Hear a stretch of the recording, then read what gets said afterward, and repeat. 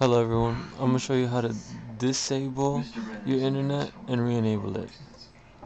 First, we're going to have to open Notepad. And we're going to go to, we're going to type in ipconfig forward slash release. And are you, um, are you aware that he's been living as a girl?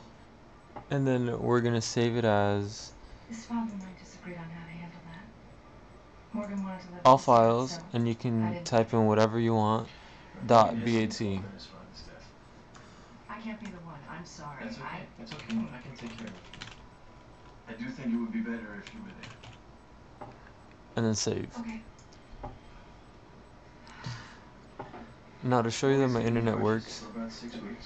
I'm gonna go Chance that he may require Safari, therapy. Otherwise, google.com. he should recover fully. Good. My internet works just fine. Morgan, YouTube, What's wrong? everything works. Honey? Now What you once you do this command, Where's my dad? you double click it and you'll see that the internet doesn't work anymore. No. We did what we could for him here. And then he went to an operating room. Google, They worked on for a very long time. In hopes that his heart would start pumping again, No.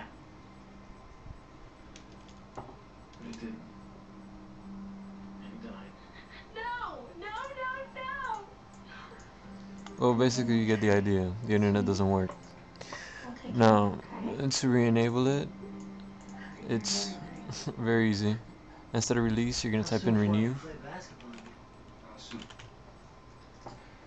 and save as, all files, and then?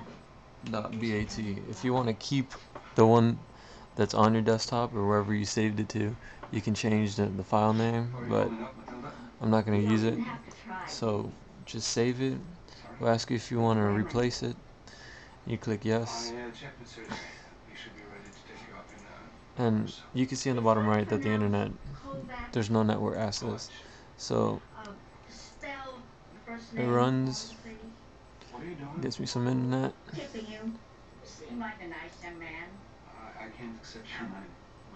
and you'll see that it works. So you- YouTube's up and running again. I'm frugal. I'm 82. Trust me. Alright then. Hope you all liked the video. And that's about it. Got any questions? Write a comment and rate. Alright then. can't hold my Peace.